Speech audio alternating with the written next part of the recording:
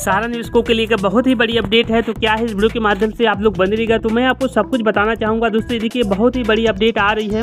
ये देखिए, supreme court से सहारा समूह को राहत दस हज़ार करोड़ रुपए जमा कराने के लिए संपत्ति बेचने की रोक नहीं है। यानी कि सहारा को जो है दस हज़ार करोड़ रुपए जमा करानी है। तो जमा कैसे करानी है? संपत्ति बेचकर करानी है। ये देखिए सारा एक अगस्त 2012 को शीर्ष न्यायालय ने निर्देश दिया था कि सहारा समूह की कंपनियाँ S I R C L और S H I C L निवेशकों से जमा की गई राशि को 15 प्रतिशत सालाना ब्याज के साथ सेवी को वापस करेगी। उसके बाद ये देखिए, सुप्रीम कोर्ट से सहारा समूह को बड़ा राहत मिली है। मंगलवार को एक सुनवाई के दौरान देश की सर्वोच्च अदालत ने कहा कि निवेशकों का पैसा लौटाने के लिए सेवी सहारा रिफंड खाते में करीब दस हज़ार करोड़ रुपए जमा कराने के लिए सारा समूह को अपनी संपत्ति बेचने पर कोई प्रतिबंध नहीं है।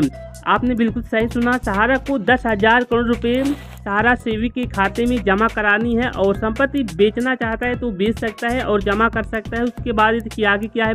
उसके बाद देखिए, एक अगस्त 2012 को शीर्ष न्यायालय ने निर्देश दिया था कि सहारा समूह की कंपनियाँ S I R C L और H S I C L निवेशकों से जमा की गई राशि को 15 प्रतिशत सालाना ब्याज के साथ सेवी को वापस करेगी।